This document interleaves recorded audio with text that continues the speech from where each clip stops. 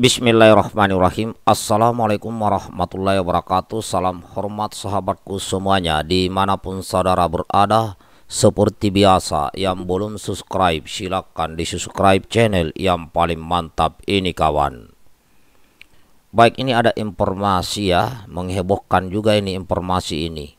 Saya bacakan dari media online repolita.com Dengan judul dilaporkan ke polisi oleh ketua Jokowi Mania, Denis Siregar mengatakan, kalau nggak diterima, bilang gua dilindungi rejim.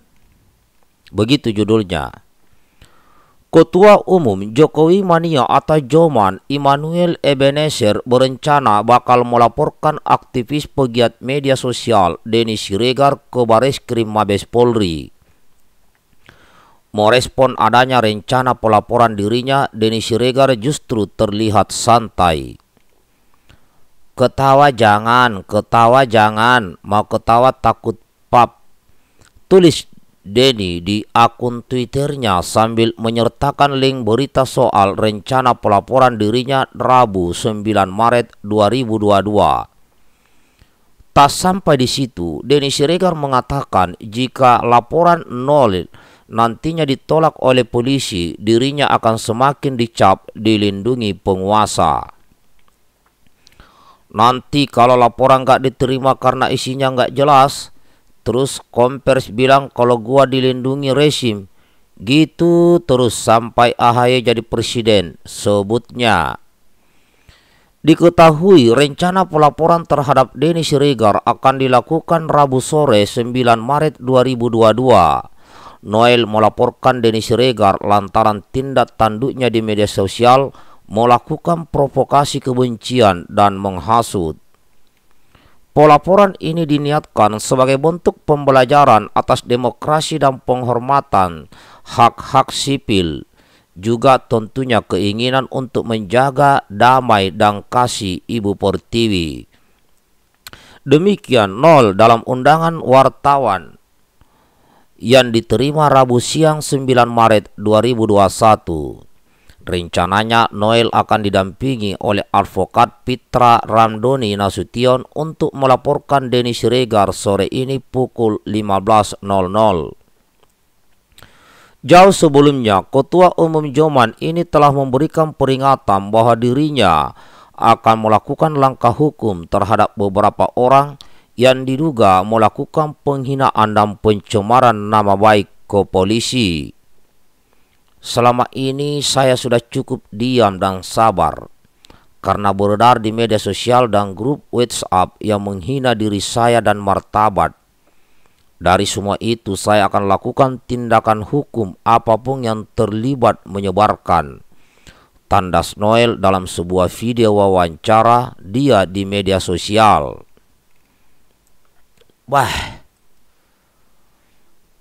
ini semakin ramai ini kawan.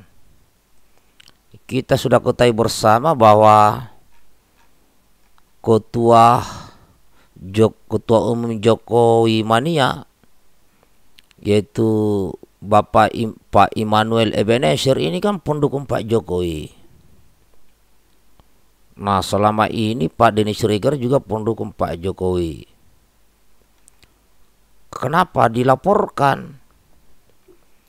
Kalau memang itu alasannya karena pencemaran nama baik ya siapa pun akan tersinggung kalau nama baiknya di uh, dicemarkan.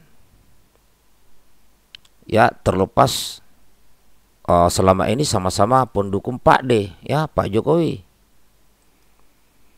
Namun di sini saya sebagai seorang warga negara Indonesia yang masih mengakui ada ketimuran kita ya kalau saran saya kalau ada hal-hal yang sekiranya itu menyinggung ya minta klarifikasi saja. Minta klarifikasi. Kalau saran saya jadi budaya saling lapor ini bisa kita mulai hilangkan di negara kita ini Jangan sampai sadil lapor ini menjadi budaya.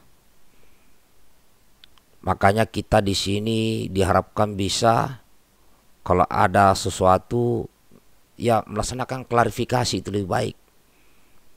Nah, syukur-syukur ya kalau memang Denny Siregar ini ya Pak Denny Siregar ini oh, mencemarkan nama baik, mau syukur-syukur, mau minta maaf. Ya, karena uh, Ketua Umum Jokowi Magnia merasa tercemar namanya. Karena martabat. Ini terlepas dari keduanya adalah pendukung Pak Jokowi. Ya kan, kalau saya, kalau saya pribadi nih ya, kalau ada kesalahan, salah ucap di media sosial, agar mulai menghilangkan budaya asal dilapor, tapi saling mengklarifikasi, ya yang yang merasa itu salah, ya minta maaf. Tapi entahlah apakah itu bisa dilakukan, kita juga belum paham. Yang jelas di sini, ya, Kota Umum Jokowi Mania yaitu Pak Immanuel Ebenezer ya akan melaporkan Pak Denis Siregar. Yang kita ketahui selama ini Pak Denis Siregar ini beberapa kali dilaporkan oleh berbagai pihak. Ya kan? Tapi uh, tidak ada penyelesaian. Nah kita tidak tahu ini. Kalau Pak Immanuel yang laporkan apakah diproses atau tidak? Kita tunggu saja ke depan kawan. Yang jelas kalau saya ini hanya bisa mengajak kepada diri saya sendiri dan kepada saudara-saudaraku yaitu agar menjaga ya lesan menjaga etika adab di saat menyampaikan sesuatu di hadapan publik baik lewat media cetak, media online seperti YouTube maupun media-media lain apa pun agar tetap tetap menjaga adab dan etika di saat menyampaikan sesuatu di hadapan publik. Ya kan jangan sampai karena kebencian, jangan sampai karena beda pendapat bablas. Seenaknya ah, terjadilah begini. Ya kan di mana Pak Immanuel Ebenezer ini tidak terima pernyataan daripada Pak Denny Siregar. Bukan hanya permasalahan ini, banyak banyak permasalahan yang lain. Saling melaporkan, ulama dilaporkan, ustadz-ustadz dilaporkan, ya kan? Padahal masih ada jalan yang terbaik sebelum ada laporan ke polisi, yaitu saling klarifikasi, saling eh, introspeksi diri dan saling maaf memaafkan. Ya, ya mudah-mudahan ada jalan keluarnya. Ya. Baik yang pro dan kontra. Ya kalau kita lihat di medsos kan masih ramai nih pro kontra. Saling melaporkan saling menjatuhkan nah itu sudah nyata perpecahan di negeri kita ini kawan sehingga saya mengajak kepada sahabatku juga para netizen ya subscriber saya di sini ayo mari kita selalu menjadi wadah eh, untuk menyampaikan sebuah solusi dan wadah untuk selalu mengingatkan tentang pentingnya persatuan Indonesia. Demikian kawan, terima kasih.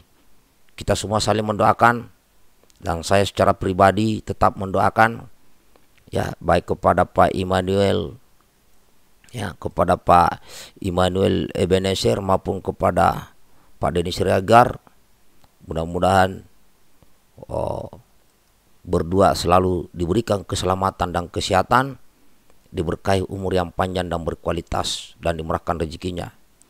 Dan tak lupa juga pada kesempatan ini kita saya juga mengajak kepada sahabat Kura Indonesia agar senantiasa juga kita mendoakan Imam Besar Habib Rizik Sihab dan Habib Bahar bin Smith agar beliau berdua senantiasa diberikan keselamatan, kesehatan, diberkahi umur yang panjang dan berkualitas dan dimurahkan rezekinya yang banyak dari tempat yang halal. Demikian kawan, tetap semangat. Jaga persatuan Indonesia, NKRI harga mati. Merdeka. Assalamualaikum warahmatullahi wabarakatuh.